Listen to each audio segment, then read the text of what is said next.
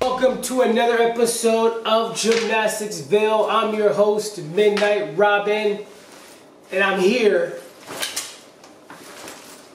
Kerry Adderly. Oh, I thought that was the cue to put the hoodie on.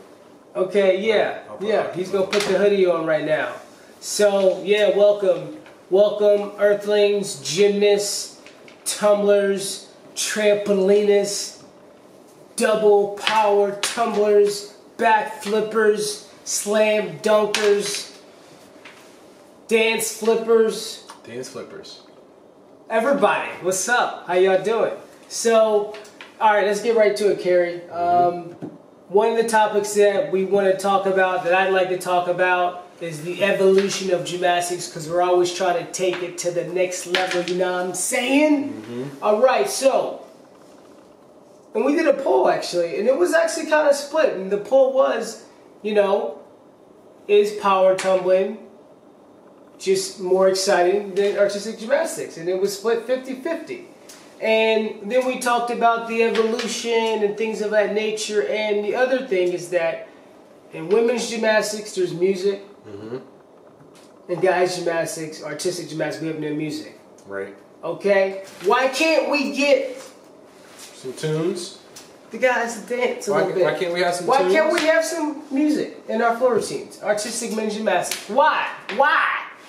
Uh, it's a good question. Why can't we get the tunes? Maybe we should do. Um, I mean, what do you Meme. think? I mean, what do you think? I mean, do you think? we should do a meme gymnastics for I mean, tunes. I mean, there's an old school thought, there's a new school thought. Old school is like, ah, let's keep it the way it is, and that's fine. But It's very I- old school. I- yeah, it's very old school. I feel like now let, let the guys show show their stuff, show their moves on the dance floor. How would you think some of these down. would dance? Do you think some guys would break into like, you know, Ricky Martin moves or maybe uh, maybe some Michael Jackson moves? What if you if we had dance music? Okay. What moves would you have done in your floor routine? All right, check it. So here's it. It, it, it would all depend on my mood. Right. Okay. Like if I was straight up going to a meet and I just felt like I wanted to be a ninja, then I put on some like put on some nice little like raves, rave, you know, EDM type music. And I wouldn't really dance to the music, but what I would really do is I would just like get into that before everyone and kind of just go flip. do that in the flip, corner? pose, boom, and just stay there. You know, put a little martial arts kick in there. You know, a little Would you do that in the corner? I definitely do something like that, but it'd be more, it'd be more, you know, cooler because it'd be with music, obviously. okay. Okay. You know, and then maybe you know I throw a tour jeté in there, split leap, sh- Shushunova. You know what I mean? Torsion Tay split. Yo, split split leap leap, Shushunova. You got in with the Shushunova. You know what I mean? Boom, flat. Yeah, yeah. He bounce up. Do you even know what a Shushunova is? Yeah. All right, cool. It's uh it's the move when you jump and then you land flat onto your stomach. Yeah, yeah, exactly. That's a regular Shushunova. Most people don't even know you don't need to actually straddle to do that. That's actually taking it to the next level. yeah. You just jump and land on your stomach. Controlled, that is a Shushunova. There is a finesse to that because you can land a certain way, the wrong way, and it you know would not be good. Ruin your day. Yo, for sure. But so let's get back to the music. Kerry, what would you do? You know, I think I would want to have a few different routines prepared. Okay, You know, I wouldn't okay. go. I'd kind of be off the cuff in that feeling of mood, Okay. but I definitely have a happy mood routine. Would you show any of your um, b boy flavor skills or what? I mean, You know, maybe it would be in some some, of each, some of each routine, tracks, you but know? you can do different style style b boy moves in each routine. You know, you can have a chill, mellow b boy session. You can have an intense session. You know, just like in capoeira, you could have a chill play game, or you could have a really intense, uh, you know, violent game in capoeira. You know, when you're so I, that's why I would think I would switch it up. It definitely be a switch up of moods, and then with that, my skills would vary in that actual setting. So I'd actually take it a step further. So for your saying, your your routine would be more of an improv. Right. But obviously calculated. So if I'm in a chill mood, it'd be a con- continuous improv of cool, chill tricks that would complement each other. Nice. You know, if I'm in a obviously a more hyper mood or something, then it'd be a string of hyper tricks that would all complement each other. So that's how I would do it. Yeah. Then you You know. know, so my yeah. own style, my own flair to it. So Razzle dazzle. what would it take for us to add floor? You know what I think we should do? I think You we should. take an iPod, you plug it in, and you press press play. and you just go. That's Just what go. it would take Just go. for those So- guys to do that. They're me. I think you know. I think what we should do is I think we should challenge some of the uh, our guests out there, our gymnasts. Would it be like a rogue moment where like somebody just ran out of the stands to plug in their music and press play? Well, I'm not sure. Although that's not a That's not necessary. you know, I'm not sure that's not about that. necessary, but- but I think that A request from a All- gymnast all to say, "I would like to have my few. yeah, or even that, or even start doing your your routines to music. Just start doing it. Start thinking about what songs you like and what you get in the feel, because you never know. You start keep on creating t- some of these things. You know, there's a lot of creative gymnasts out there. I'm telling you. I mean, come on, man. Those youngins are flipping, twisting. They're doing it all right now. Why not add some music? Why add to it? Yeah, maybe The women, the women have you tell the boys can't get down. You know what I'm saying? They can't get down. Oh, the kids would be doing like the Millie Rock. Yeah, who knows, man? You know they be putting some dab. You know, you know it's gonna be some dabbing in there. Dab a Ranch. Yeah. So, let us know how you feel about the music. Men's the eh. er.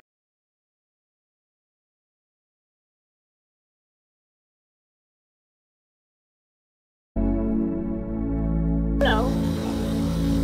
You can actually tune in to gymnasticsville.com for more updates on gymnastics news. Yes. Tune in to Gymnasticsville, voice of acrobatics. Gymnasticsville.com. All right, there, aka Carriata. We gonna play a game today. This is gonna be called Gymnastics Cards, okay? And so basically, the name of the game is that any card you pick up, you have to start the story of that song, and it has to be something in there acrobatic by the end of the of the of, of the line. So, so, so basically, what we're gonna do is I will demonstrate. I'm gonna pick a card six six back handsprings I had to do back at the time, the summertime of '89. Okay, That's your rhyme. that's my rhyme. All right, all right, all right. Ten, the perfect ten. They get it again and again. The college girls, they all win. Dang. All right, all right. So we got here. We got nine. Nine chin ups, pullovers. All day, chin-ups. Nine, nine, nine, yeah, but nine. said non-chin-ups. Well, I meant like nine, like rider nine. All right, my turn. Yeah. Oh, Did you ten. When I say and do it again, flip once, flip twice. Every time I land, we get a ten. We just made up this game, all right. number like three, a Dr. Seuss right number three. Come on, we all know the three Pete Kings, the Okay. triple back. Oh, but are you rhyming, or are you just trying to come up with things King. that remind you of the number? I'm just saying, it's just three. I'm just saying. just- but you didn't come up with like a rhyme like that. I Three, said, I three. said three triple back king. That doesn't rhyme. That right? Three, we, key, C. Pick a card.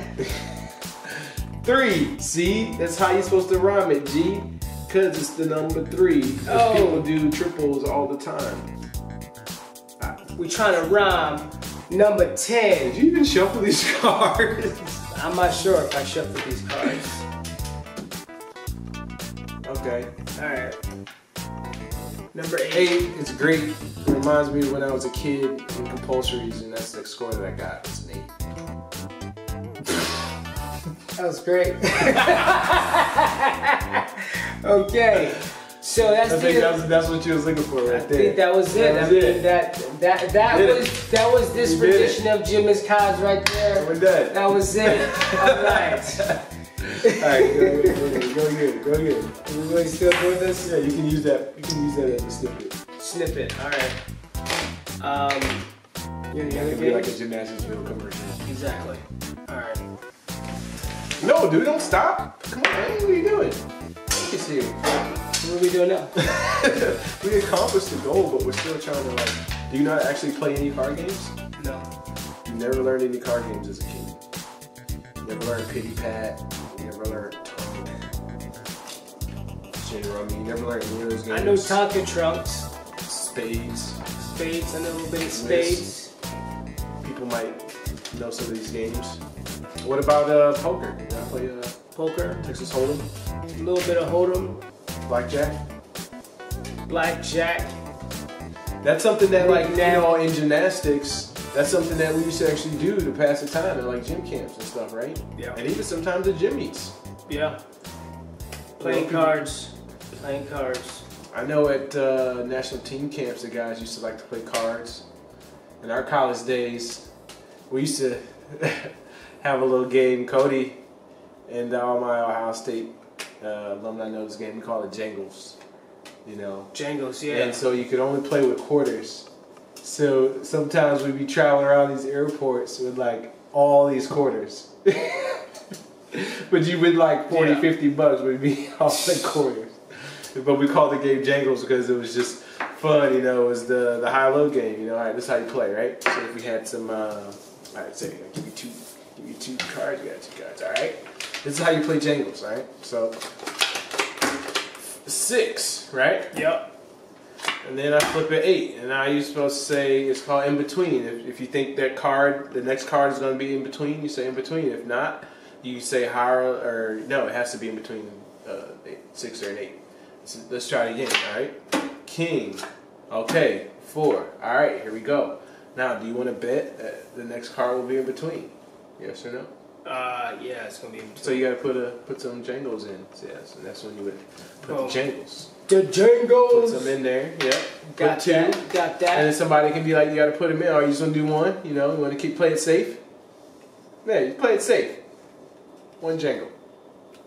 Oh, that's how it works. All right, you got to put it down. You gotta let it go, man. Boom. You gotta let it go. Yes, yes. You gotta let it go. All right, it's in there. All right, you ready? Yeah. Here, I'll match you. Excuse me. Hold up. All right, ready? Here we go. Oh, it's a two. It's a two. He loses. I take your money. Because it wasn't in between. It wasn't in between. Boom. Can you see how intense this can get? Let's do it again. Here we go. All right, five, intense. eight. Now you're gonna pass that, right? Nine, six. You're gonna pass that. Four, three. What's on? It's super low right now. Oh, ace. Here we go. Now the ace. You want that to be high or low, my friend? Uh, low. You want it to be low? Okay. Between the ten and the ace, you want to go for it? In between? In between, maybe. You wanna go for it? Let's go for You it. do? Go You for put it. your money down, dog. Boom. Jangle down. All right, man. I want to get on in on it. I want to get in on this. Double, double down on this. What you got? Double. Oh man, that was just a bad call. Now you got no jangles. No more jangles. That's the way the cookie crumbles in the world of jangles.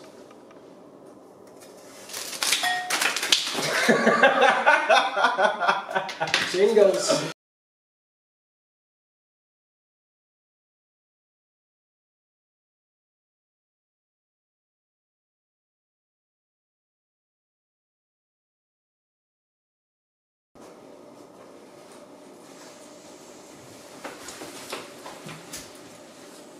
Hello, ladies and gentlemen.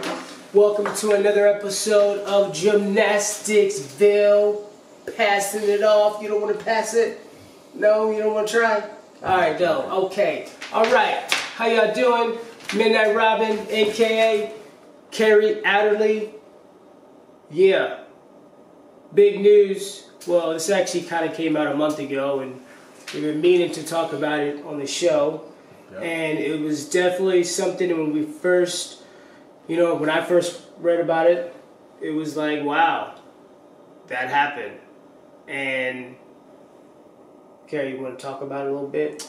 Yeah, that happened was uh, the men's gymnastics uh, and also some of the women's, uh, including Olympic champion Max Whitlock, refusing to sign their performance contracts um, just due to some things of fear of exploitation, um, things that have been happening in USA gymnastics, same exact things. And you know they band together uh, the whole men's team and refused to sign. The, the team, the two, the team in this last Olympics that brought them up to seven medals in Rio, Wow, they refused to sign. that's so crazy. that was powerful that they band together. Um, you know, and it, it makes me look at our uh, system and our, especially even our men's team. so. you know, our so, women's team are speaking up, but the men's team have yet to do anything powerful like that. And um, you know, I think it's there's been past due. I mean, so here's the thing, though, right?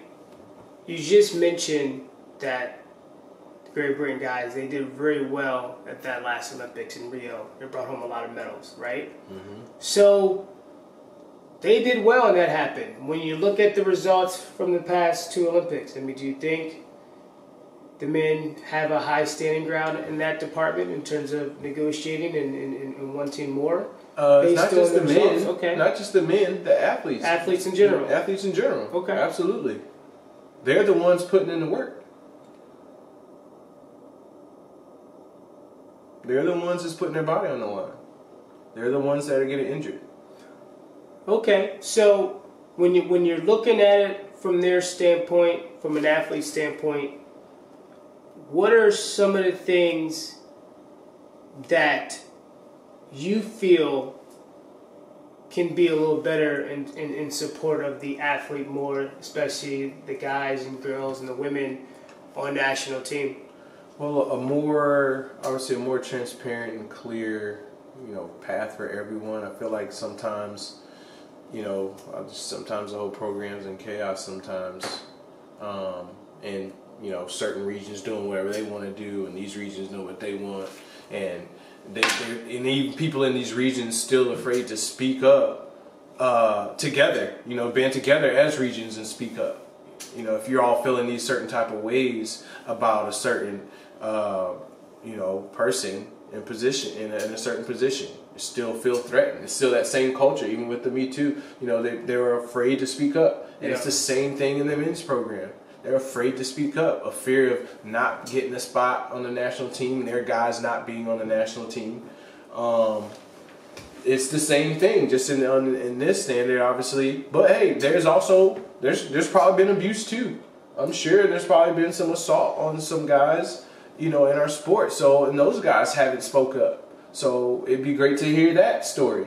So I mean, these things still need to be addressed on the men's side, the same way that they're being spoken about and handled on the women's side. There's things that need to go on on the men's side as well to help get the program to stronger again. You know. Yeah, I mean, and, you brought in a good point. I mean, it, it, it's you know in our sport it's, it's very it's very tight lipped, and obviously you know the culture of it and the judging and how subjective it can be at times, and and you know these athletes put their bodies and their minds through so much, so much, and you put in the political aspect of it this is some of the reasons why it, it it's tough, so tough to speak up in the sport, and why it's been really kind of been the same way for what the last 20, 30 years. Yeah, and it's always the it's always on the inside. You know, it's it's people on the inside that are afraid to speak up, and it's great because somebody on the inside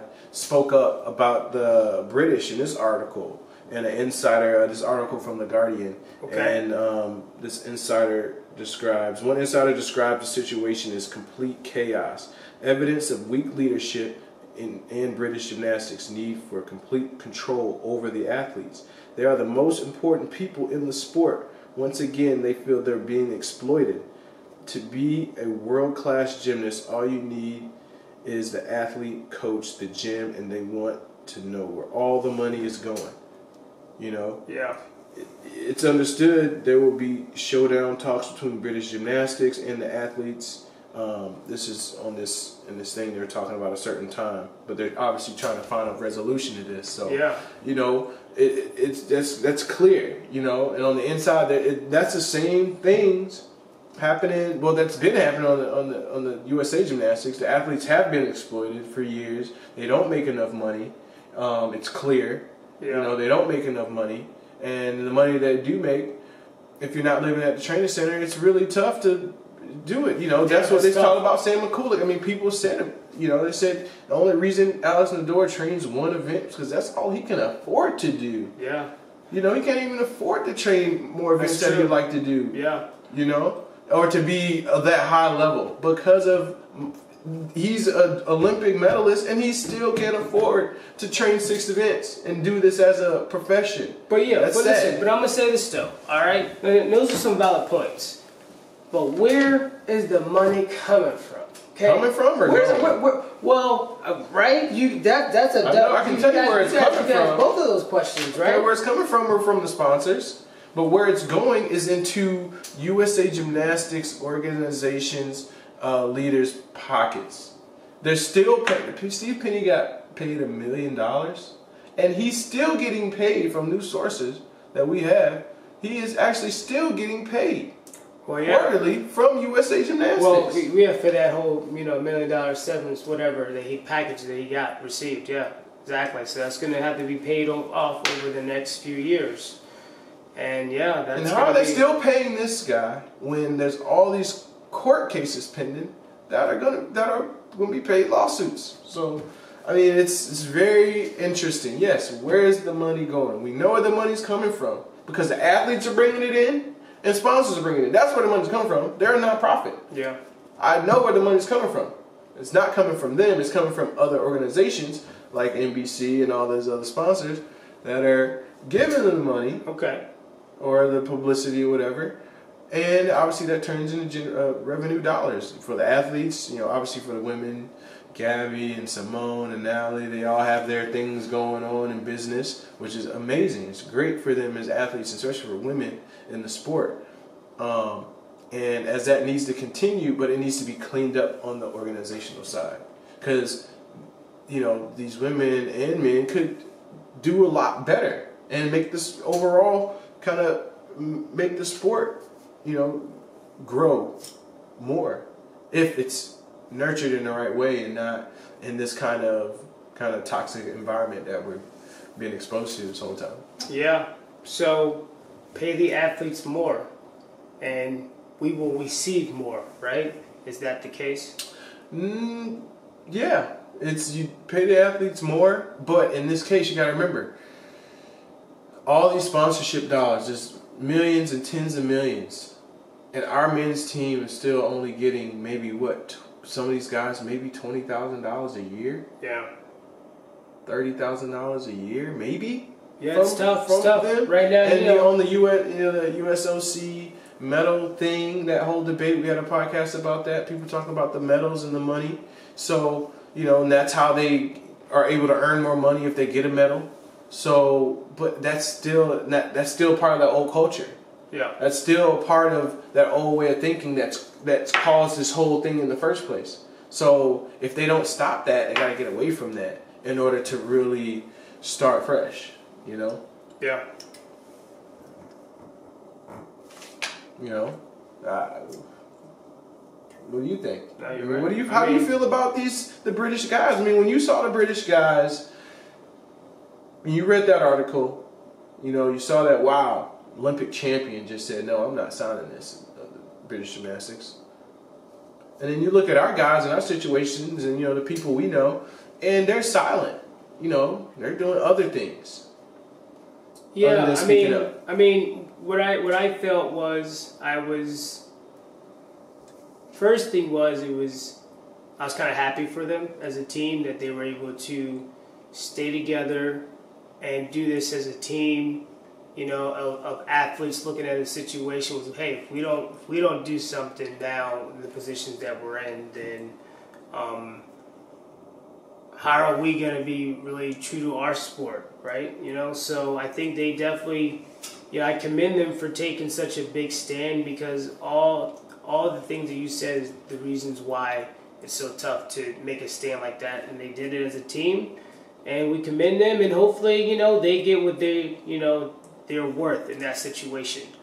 Um, and as for the American men and women, they need to do the same if they feel that way. They need to stick together and decide, hey, is this the direction that we want to go as a team of athletes looking at you know themselves personally, but looking you know a few years down the road into the next generation. You know, you know, Right. They are ambassadors of the sport, It's a right? and it's an opportunity for them to uh, help continue to grow the sport. Yeah. It's an opportunity for them to see when they're done and then they have kids and their kids' kids that they can still enjoy the same opportunities. That's what I'd like to think that you know uh, a lot of the well-known gymnasts are looking towards, and not just me. I'm, I'm getting mine right now. And that's all that matters because I've seen a lot of that happen, especially even on the men's side. They Yeah. get theirs right now, and then they're out, and then they don't come back,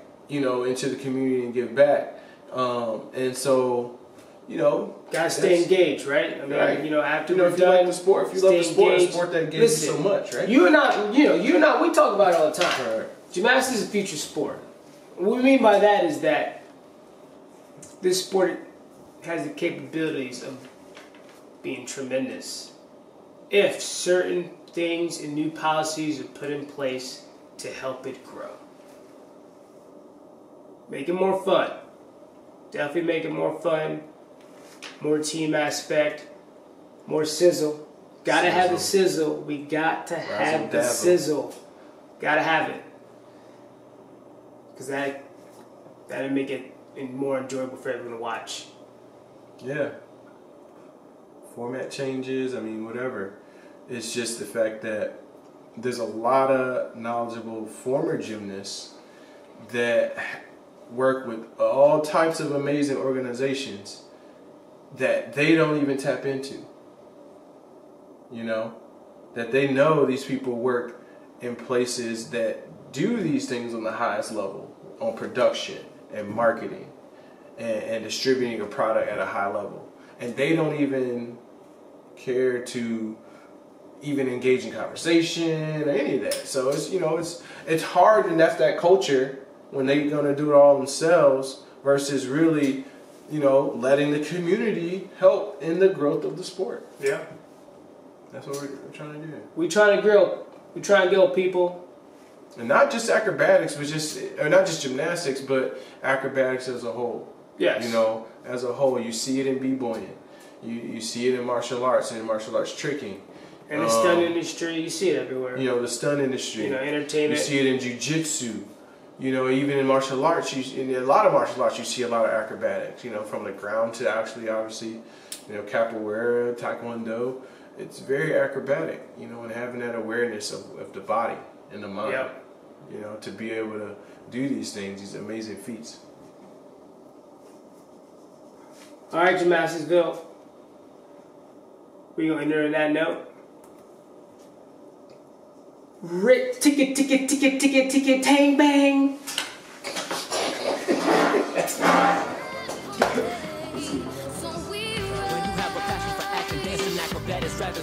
Have the practice for the challenge you're bringing on yourself. Cause believe me, it's hard when your mind gives up. You got